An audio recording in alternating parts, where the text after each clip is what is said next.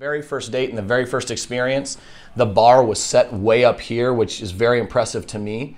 Um, because again, service is so important to my business, and it it stayed there. I mean, I've not one time had anybody on the VIP insurance team kind of just let off that service even for a little bit. They've stayed in fifth gear, which is which is huge. I mean, a lot of people have a hard time keeping that level of service up.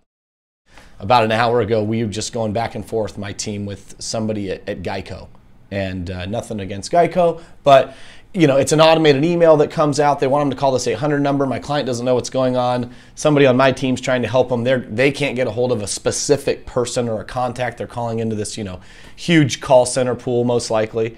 Um, and that's just not the same level of service that our team is about, right, in our organization. So we need to be working with like minded individuals that are really a model match for us if you're not using VIP insurance services, you, you're you're missing out. You really are. And I would highly advise that you you use them, give them a shot because uh, again, the first date, the first experience you have, you're going to be impressed because I have and everybody I've talked to has. So I've been talking to other colleagues around the office.